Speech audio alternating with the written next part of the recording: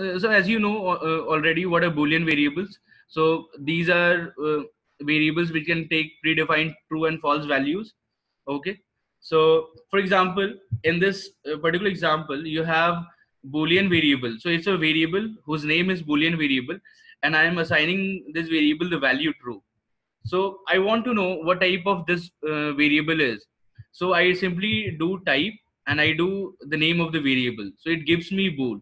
So that means that means the variable is of boolean type. So as you already know uh, type is a function. So if you want to get the data type of particular variable we'll simply do type.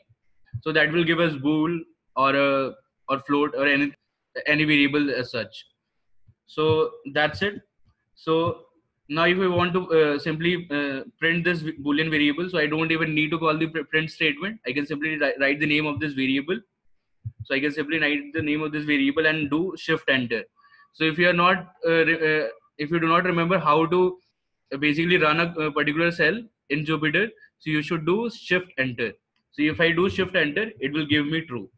So let's say if I update this variable to false, so I'll get false, but the type will remain the same as well because both are Boolean uh, values. So now uh, let's try to see what does uh, such operation return to us? So i do one greater than two. You already know one is not greater than two. So that that is a boolean uh, value which is false. So we can also do a, a, placeholder kind of thing. So in a particular variable you can store none. So that will tell uh, tell the python this variable does not contain any information so it does not contain any value, any information such. So it's simply none. none. So you can do bool as none and you can simply uh, print bool to find out what is it. So now let's say we talked about, uh, so here we can simply do one is equal to is equal to two as you know. So we have these uh, this operation. So this is false. So this is a comparison operator. So on the two operands, it will return me the value based on the boolean operation. So if it's not equal it will return me false. So that's on the numeric variables. Now we can do the same kind of thing with the string variables as well. So i have two string vari uh, uh, variable. So two two string values in fact. So one is machine learning and one is deep learning.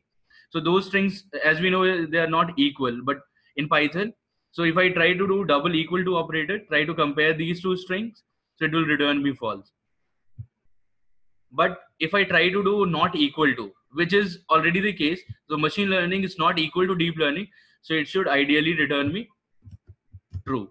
So it returns me true. So hopefully that is uh, uh, uh, very clear. So a lot of uh, similar things are there. So we have double equal to so 2 double equal to 2 that is a true condition that will return me true. So if i uh, do 2 not equal to 0 so that should also give me true. If 2 not equal to 2 that should give me false because 2 is equal to 2 right? So now you can do greater than uh, comparisons as well. So if a particular variable is greater than some different variable so for example let's say i have a variable a is equal to 3 b is equal to 2 so i try to do a greater than b. So it should give me true because a has value 3 and b has value 2 so you can simply try doing this comparison operation greater than to find out if it's actually correct or not. So it's true. Then similarly, three is not greater than four, so it's it's going to give me false. So similar operators are there here, which is less than. Then I you can do greater than equal to as well. So you can do uh, three greater than equal to two. So even if one condition is not uh, is not fulfilled, so it will give me that uh, particular uh, boolean result. So 3 is greater than equal to 2. So even if it's not equal to 2, but still greater than 2, so it should give me uh, true. So for example, if I do 4 greater than equal to 5, it should give me false. But if I do if I do 4 greater than equal to 4, it should give me true. Because here the condition is or. So either of the two cases is true. So either this particular value is greater than this or this value is equal to this value. So 4 is equal to 4. So regardless of it, whether it is greater than th that, so it should give me true. So it evaluates either of the two conditions. So similarly, you have less than equal to. So this is about Boolean variables.